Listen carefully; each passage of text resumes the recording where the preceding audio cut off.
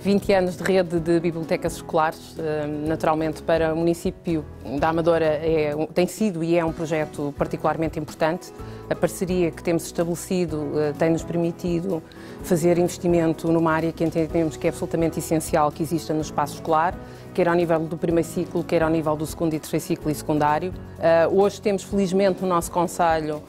todas as escolas que cumprem os requisitos integradas na rede de bibliotecas escolares e isso só tem sido possível fruto do trabalho conjunto e desta parceria conjunta que tem sempre existido ao longo destes 20 anos entre eh, a rede de bibliotecas escolares e a Câmara Municipal da Amadora e que entendemos que tem sido uma grande mais-valia para dotar as escolas de um conjunto de recursos que complementam a parte educativa e formativa em contexto de sala de aula, mas que são absolutamente essenciais para conseguirmos formar crianças e jovens, ehm, para conseguirmos ter naturalmente pessoas bem formadas para eh, o futuro.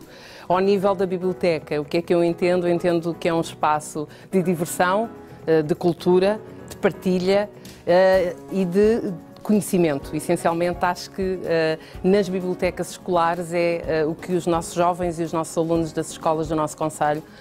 encontram. Este projeto, ao nível, no, no, nosso caso em concreto, no Conselho da Amadora, também uh, tem tido sucesso e tem sido possível desenvolver uh, porque tem existido um grande envolvimento das escolas de todos os graus de ensino, desde a creche até ao ensino secundário e um grande, um grande envolvimento dos diretores e dos professores. E acho que isso tem que ser salientado uh, no sucesso deste projeto, porque sem eles e sem o seu empenhamento e sem a sua dedicação não tinha sido possível, com certeza, fazermos este caminho com a rede de bibliotecas escolares.